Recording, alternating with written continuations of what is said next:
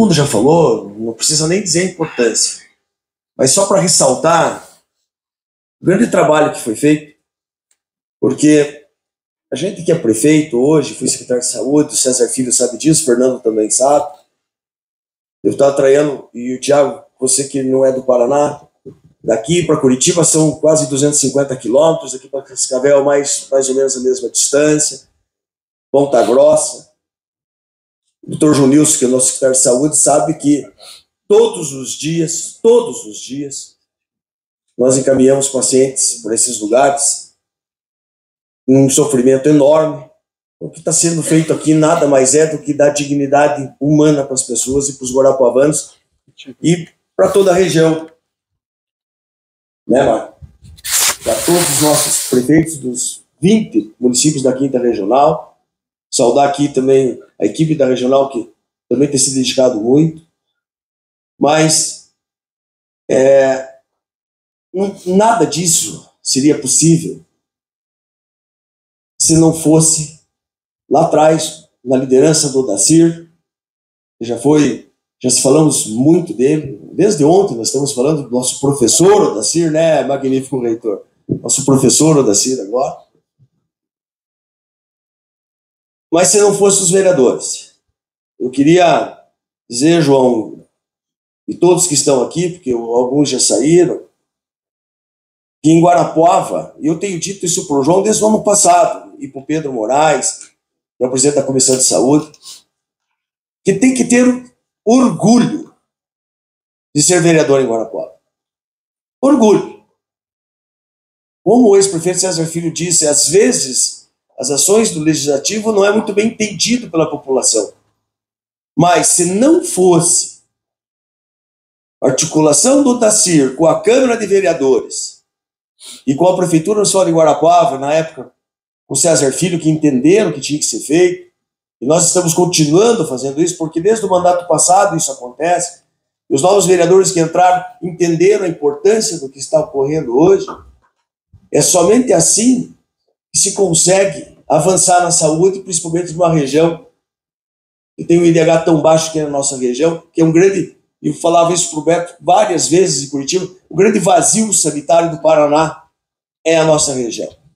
É um vazio enorme, que representa a radioterapia aqui, nada mais é também de nos lembrarmos das lutas que ainda temos pela frente, os desafios que ainda temos. Fizemos o SAMU regional, ainda está engatinhando, mas já saindo do papel, andando com as ambulâncias. Nós precisamos urgentemente abrir o centro de especialidades. A Maria José, que está lá me ajudando muito nisso, sou presidente do consórcio novo, os prefeitos, os 20 prefeitos da região.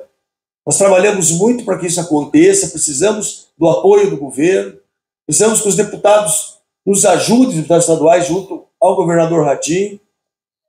Nós temos um outro grande desafio, que aqui na frente do Hospital Regional, a FUNEAS está assumindo, mas também com grandes dificuldades, porque também está assumindo mais dois hospitais fora o Regional de Guarapuava. Os contratos que tinham aí foram extintos, criaram muitas dificuldades, inclusive para a FUNEAS fazer isso. É por isso que ainda não abriu como deveria abrir. A gente tem se empenhado muito, falava com o ex-prefeito Fernando Carlos e o Hospital Regional, né, cara? Porque está saindo do papel, está engatinhando, mas é um grande desafio para nós termos a referência do Hospital Regional, porque somente o Hospital São Vicente, não a área da radioterapia e, e, e, e da quimioterapia, Débora, mas o hospital, como o hospital geral, também tem grandes dificuldades, está no limite. O Virmonde vem numa crise histórica, todos nós conhecemos, que também não tem mais condições de atender às demandas que nós temos todos os dias. Numa crise agora pós-pandemia, as nossas filas estão gigantescas. Precisamos abrir urgentemente o centro de especialidades. Precisamos ter mais vagas hospitalares. É só vocês ligarem a televisão, a internet, redes sociais e ver o que, que ocorre hoje nas urgências e emergências nossas. Não é só em Guarapau, é o Paraná todo está vivendo isso. Há um apagão de médicos pediatras no Paraná, né, no Brasil todo. Há um apagão, mas a gente tem que enfrentar e resolver. Então eu queria, para encerrar, para a gente poder aproveitar esse momento importante, mas enaltecer de novo. Não só o que os deputados federais fizeram, os estaduais, sabemos disso, mas da importância realmente do trabalho que foi feito pelos senhores e senhoras vereadores. Podem ter orgulho de ser vereador em Guarapuava. E eu gostaria aqui, junto com o Dacir, e o César Filho, que iniciou isso como prefeito, eu estou dando continuidade, a gente fez o upgrade dessa máquina agora, agora esses dias, né, Tiago, fizemos agora. Como bem falou o, o deputado federal Ricardo Barros, do que isso vem de beneficiar o tratamento do câncer. Mas eu queria pedir a todos vocês uma grande salva de palmas para os nossos vereadores. É, a importância é fundamental, porque se não fosse esse passo dado, talvez nós não estivéssemos hoje aqui comemorando o que nós estamos comemorando. E pedir a união de todos para que a gente possa avançar ainda mais na saúde, principalmente na saúde regional, porque a gente não pensa mais em saúde de Guarapuava. Há muito tempo, desde quando eu estava de secretário de saúde, eu já pensava em saúde regional. É o que a gente pensa, é o que eu penso, é que o Estado pensa, o secretário pensa. E gostaria muito da união de todos. Eu não vou mais deixar o Dacir emocionado, porque ele já estava aqui emocionado, deixa.